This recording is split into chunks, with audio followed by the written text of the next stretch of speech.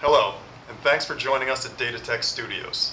Today we have a very special guest who's here to take us through a quick walk on the dark side of the World Wide Web. Senior Security Engineer for Dell SonicWall, Rob Krug. Rob, thanks for joining us today. Thank you, sir. It seems you can't turn on the TV or pull up your favorite news site without hearing about another data breach or catastrophic cybercrime.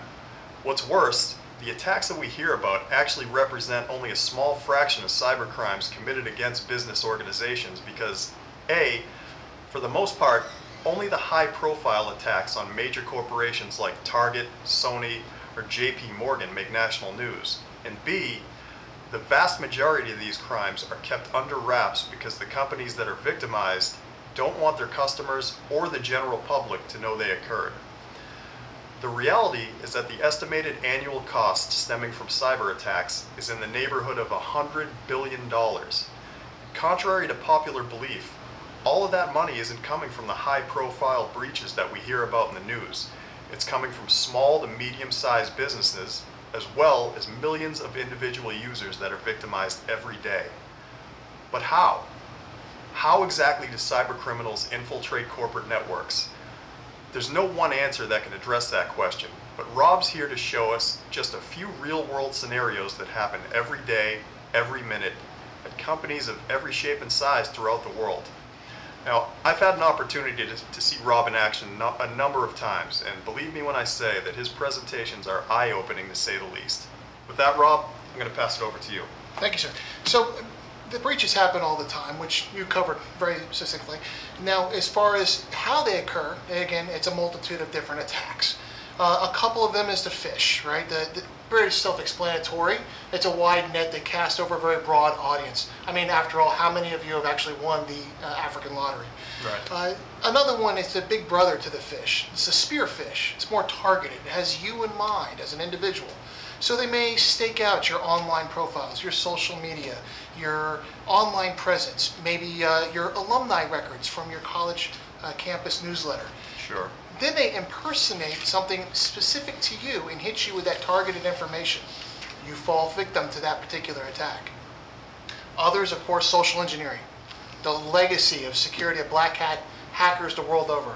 Uh, the first chapter in every online guide to becoming a hacker, the first chapter is always social engineering. Now, from what I understand, social engineering on social media is becoming near epidemic, in part because there's just there's so many users, somewhere in the neighborhood of 1.6 billion, and, and also the degree of trust that comes from a site like, say, Facebook, where people are more likely to share personal information.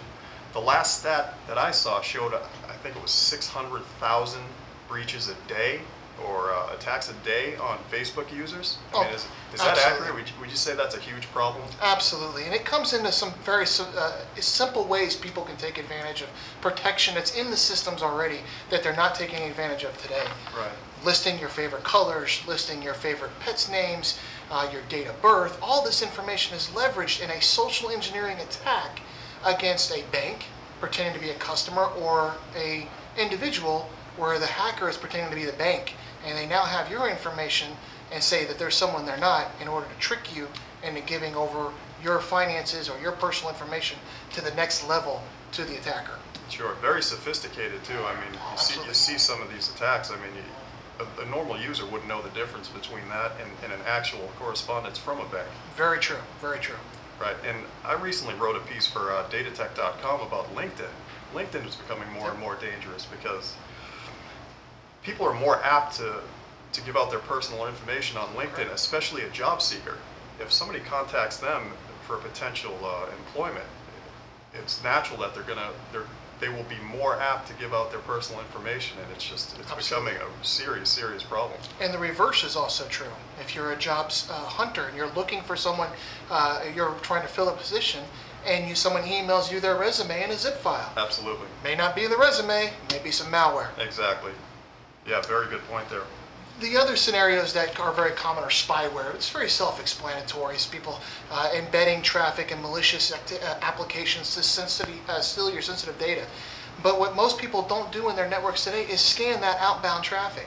Spyware is already on the network. It's sending out, but it's using it as legitimate uh, applications, not malicious content. Another uh, prime, bre- uh, prime breach that happens today is the waterhole attack.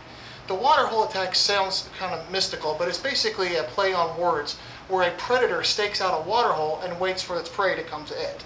Same thing happens. They maliciously attack a website, maybe a harmless ad site.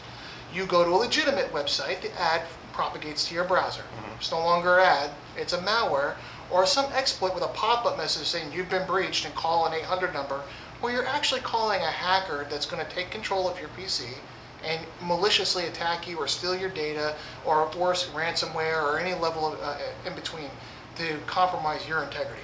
Right. So no, definitely one of the ways to look for having security solutions that can protect against those without letting users go to malicious sites in the first place. Very, very powerful.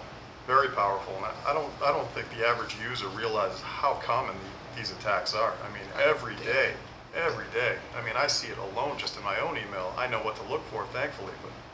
A lot of really scary stuff there, Rob, and great information for business managers as well as individual users. The threat landscape right now can obviously be pretty terrifying, but the reason we get this information out there isn't to convince business owners to throw in the towel. Quite the opposite. There are very specific steps that can be taken by organizations today to protect against the seemingly inevitable network breach. And contrary to what you may think, it's not all about spending a ton of money on a bunch of brand new hardware every year to keep up with the latest threats. DataTech and Dell SonicWall invite you to join us at our upcoming Security Summit to learn exactly how these dangerous exploits are leveraged by the bad guys, as well as what else is going bump on the net, and most importantly, how you can protect your company from being victimized. Thank you for watching, and Rob and I hope to meet you in person very soon. We'll see you then. We're proud to announce that DataTech was recently named as a top 10 managed security provider in the industry, as well as a Dell Partner of the Year.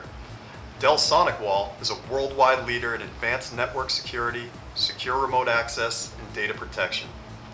Join us at our upcoming Cybersecurity Summit, where we will explore the latest in cybersecurity risks, attack vulnerabilities, the threat landscape, and most importantly, what you can do today to prevent the breach of tomorrow. How important is your data to your business?